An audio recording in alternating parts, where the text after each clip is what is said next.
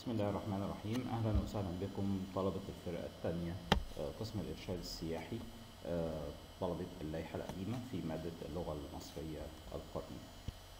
إحنا المحاضرة دي هنراجع على الحاجات اللي إحنا خدناها قبل كده مراجعة سريعة آه، عشان إن الهيروغليفي مادة متصلة وليست منفصلة فالنصوص والكلمات في الدرس الأول والثاني بتظل تستخدموها في الدرس الثالث وهكذا وكل دروس متصلة ببعض.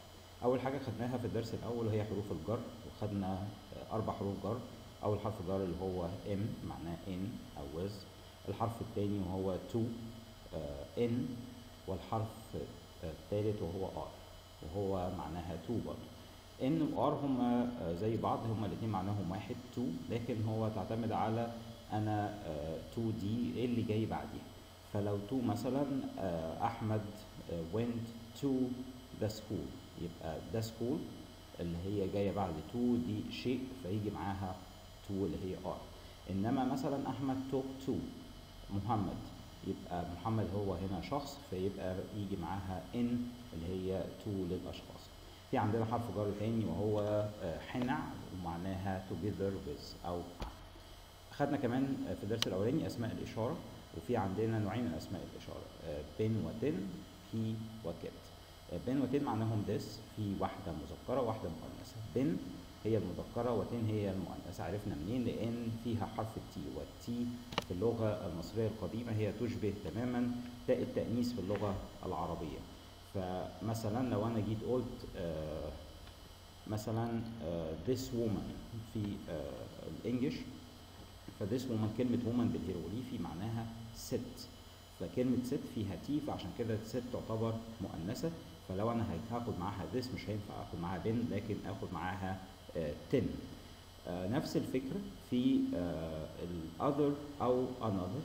آه كلا في عندنا كلمتين آه كلاهما كي وكت معناهم واحد لكن في واحدة تستخدم للمذكر والثانية كت تستخدم للمؤنث لأن فيها حرف ال t.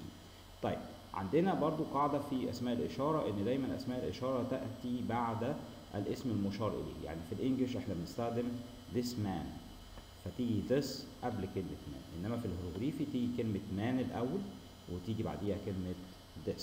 فمثلا كلمة man بال English اس آه آه بال English man إنما بالهيروغليفي اس فاس دي هي كلمة مذكرة لأن ما فيهاش t فيجي نستخدم معاها this اللي هي pin. فتيجي بعديها بن يبقى اس بن مش بنستخدم ال English طريقة في ال English this man. لا إحنا بنجيب man الأول وبعد كده كلمه this.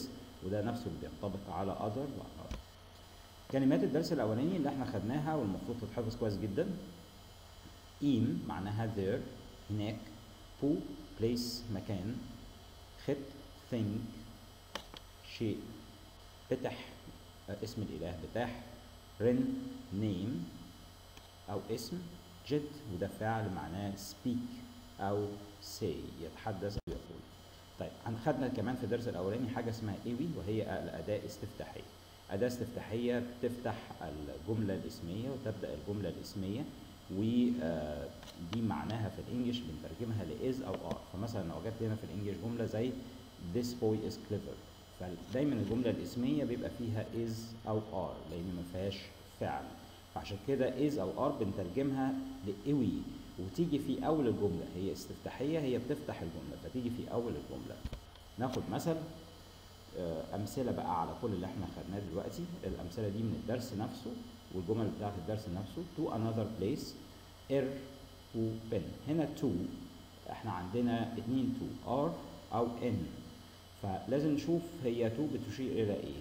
Another place place هو مكان معنى كده إن إحنا ناخد are اللي هي who er who pen. كلمة another place زيها اسم إشارة فعشان كده بناخد بعد آه، place نجيب كلمة place الأول who ونجيب بعد كده كلمة pen.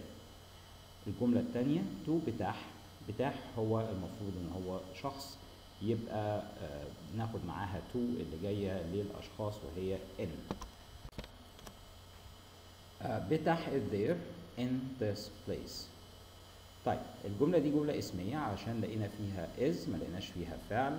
فهتيجي اس دي في الأول وهي اوي وتيجي بعديها الجملة عادية بتاح تنزل بتح. وبعد كده there اللي هي إيم in حرف الجر am وبعدين this place في كلمة this معنى كده هنجيب كلمة place الأول who pen